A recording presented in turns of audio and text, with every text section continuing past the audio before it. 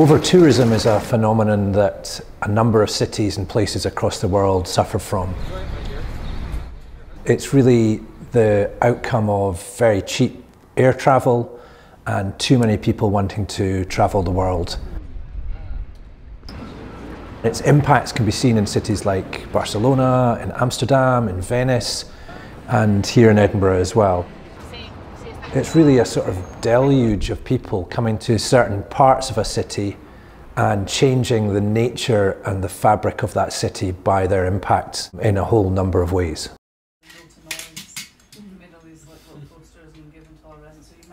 I'm Hannah Bradley.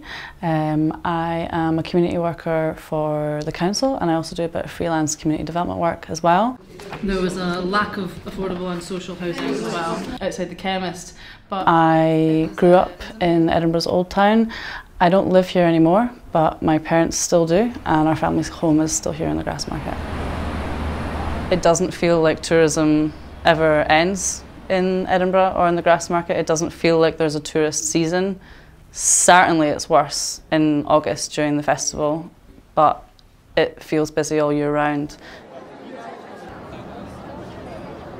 The emotional side to living here when it's that busy is that it brings out a really horrible side of me. It makes me it makes me really angry and it makes me feel like I'm not I'm not a nice person.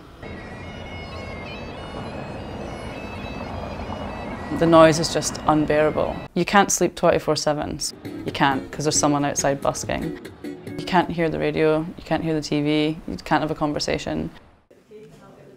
It makes me feel kind of sorry for visitors actually when I think about what the city has become because you don't come here and meet locals. You're walking through a kind of inauthentic like tourist town with lots of shops with tartan rubbish and I don't know why anyone would want to visit this place because a place isn't just beautiful buildings, it's all the people that live here and I feel like there's less and less of us. I think inauthentic is probably the, the best word I would use to describe it. One of the impacts of over-tourism is people coming for very short-term visits and this has a profound effect on the city housing that used to be residential housing where people and families would live becomes a space just for visitors. So whole neighbourhoods in Edinburgh have been transformed by this. The services, the shops and the nature of that community changes because they want to service tourists rather than residents.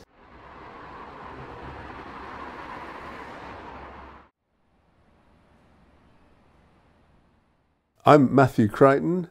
I live in the Canongate area of the Old Town in Edinburgh. This part of Edinburgh has become a kind of Disney version of, of what it used to be uh, because of the impact of just too many tourists. It's become a place in which you are very unlikely to see a local person uh, in amongst the crowds, the High Street in particular in the Canongate, is a theme park almost uh, for mass tourism. It's, it's not good for this community at all. Short-term lets are a blight on the Old Town. 29 in every 100 accommodation units, flats in the Old Town are short-term lets. That means almost a third of the entire uh, accommodation in the Old Town is not available for people who need homes. When we have a problem of homelessness and uh, rents and prices going very high, it's a disaster for the city that that's allowed to happen.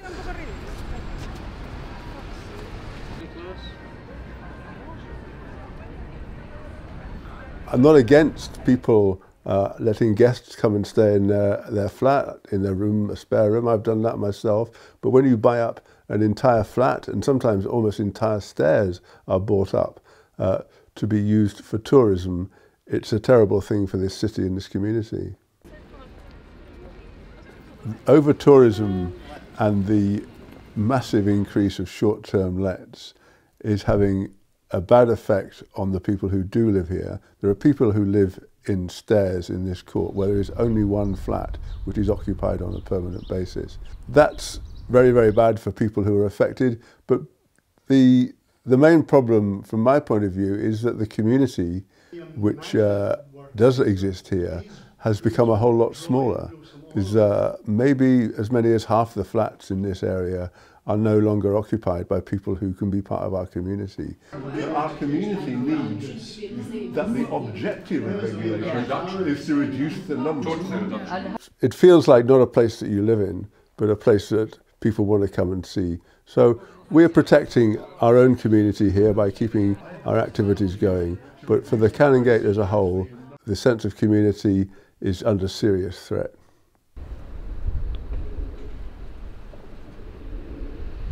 My name's John Mitchell. Um, I live in the centre of the old town of Edinburgh. I'm 64 years old. Um, I'm originally from Musselburgh, just outside the city, but I've lived in the old town here for nearly 30 years. The phenomenon of um, short-term let has changed the whole character of the city. And the problem um, here is that many of the, the residents have now left, sold their flats, and the flats have gone for commercial let for Airbnb. Certainly, um, my neighbourhood has lost its identity. Um, like in any neighbourhood, it's not the buildings that make the neighbourhood, it's the people who live there. Short-term lets in the old town have been particularly destructive to the community because of the numbers. I have an Airbnb right above me here. So every two or three days, I've got a different neighbour who I don't know, I've got the contract cleaners coming in at the end of, the, of their stay. I've got the contract laundry coming in. So it's like living in the Ibis Hotel. If you've got new neighbours every two days, your character of your, your um, where you live changes. It has made things quite difficult round here and made me question why don't I just leave or why don't I just go and rent it out like everybody else and earn lots of money? But that's not what I moved here for.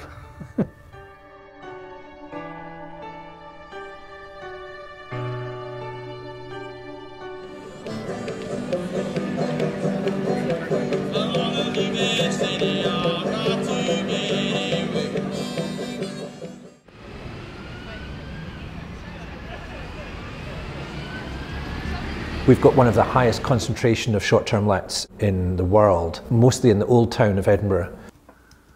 Airbnb are the main company that operates uh, in the city. What started as an idea where you could let out your room and it was a kind of small scale thing has turned into a massive business. This is large scale business. This is not ordinary people being hosts and renting out their flats. It's complete nonsense. Over tourism and short-term let crisis in Edinburgh hasn't come about by accident, it's come about by design because it's been a strategy of the council and business interests within the council and within the city to dramatically increase tourism over time.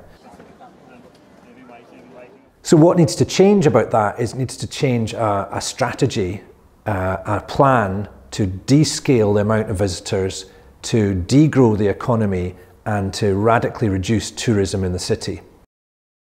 This has to happen, and I think one of the things that's driving the need for that is that we're in the middle of a climate crisis and a climate breakdown, and the council's own strategy is just to grow on exponentially growing the economy and growing the tourist numbers and on and on and on. A plan to have more and more short haul flights into the city forever is a, is a climate disaster as well summary document here, which is about seven or eight pages long, but on your tables you have the full report as well, which is... The Edinburgh Old Town Development Trust pages. recently did uh, phase one of the Place Standard Report. The Edinburgh Old Town Development Trust is a locally owned and run organisation that wants to improve the quality of life for residents of the Old Town. The Place Standard tool is a framework which allows communities to do their own research about how residents feel about their area. People who live in the community were asked to give their opinion of what it's like to live here on a number of uh, different spectrums. So we would think, for example, about transport, about community, about the quality of housing. So we have three areas that scored really badly out of the 14. One was housing and community, which encompasses short-term lets. So the Development Trust enables the community to do things together so that it's strong enough to take its case to its councillors, to its MPs and to its MSPs. We've recently put together a little steering group of local residents who are going to kind of look at the results of the report and decide some priorities for action and we're going to do something about it because there's no point asking people what they think and how they feel unless you're actually going to respond to them.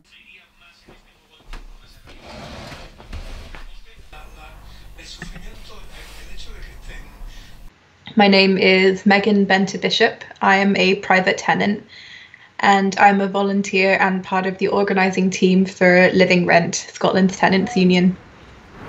Yeah, we understand that everyone Most of our work involves what other unions would call casework, but we also run various campaigns as well, such as our campaign for rent controls across Scotland and also our campaign for better regulating holiday lets, particularly in the city of Edinburgh.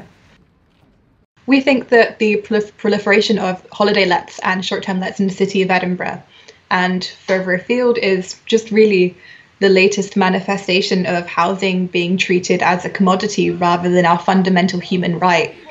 For profit. Landlords, come off it. Homes for people, not for profit. Edinburgh could regain this identity and remain a home for us, um, but it's not going to be able to do this without the mobilization of its occupants. Uh, we need to unite all of those that are losing out and push for radical change.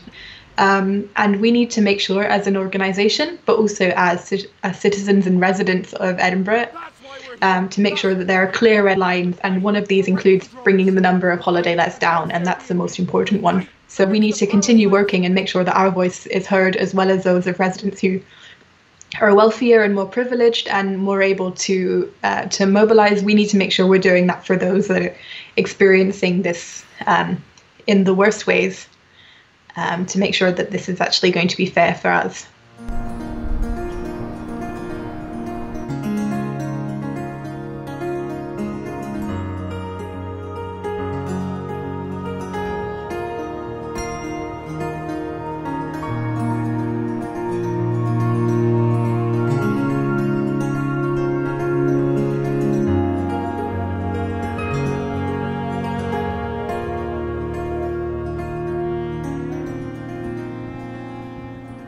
So my name is Deirdre Henderson. I'm one of the co-founders of Place Edinburgh, which is a sort of grassroots network of um, residents who've been affected by short-term lets. We are also um, looking at over-tourism. That's very important because it's linked very much into short-term lets. We don't think over-tourism happens as much without short-term lets. So because of the COVID-19 crisis, the uh, situation for tourism in the city of Edinburgh just now um, is very difficult for tourism businesses. The legal lockdown has meant that uh, attractions have had to close, the hotels have had to close. The situation for the tourist sector in the coming months is still very uncertain um, because absolutely nobody knows what's going to happen with this COVID 19 and whether there'll be a second wave. With the lockdown, of course, people couldn't travel for non essential travel, so all the travel plans had had to be cancelled for people. A lot of our tourism has relied on people flying in on cheap flights. I just don't think that's going to be there anymore. But I don't think we'll see the way that people have travelled in the past with lots of flights. People are feeling quite nervous about that. It may take many years for people to recover from this.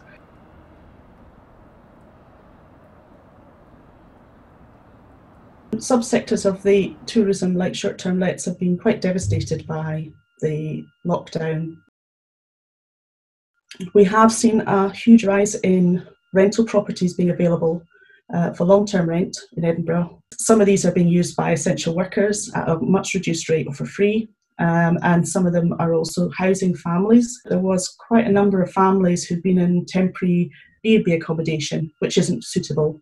Um, and at the moment, they're put into the short-term let properties by the council who's paying for that. So I think we'll see more properties being sold over the next little while, especially as it becomes clear that this is going to last a very long time.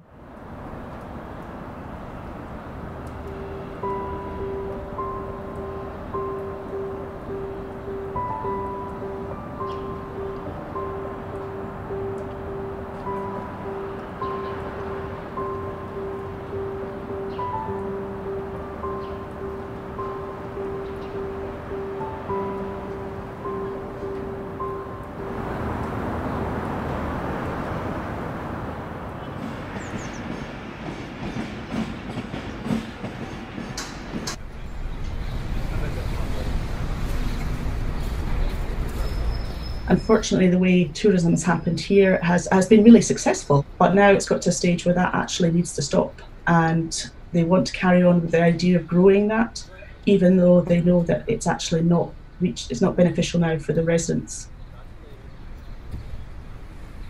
This is a city on the edge of Europe, and what we've got is people coming from everywhere to visit here. And we're very proud of the city, and it's great to have um, these the people. But as I say, it's not about the tourists, it's about the system and it's about the volume of tourists. Tourism has always been with us, and it's a great thing to have, but at this level, it's not sustainable. We need to have a different metric for success.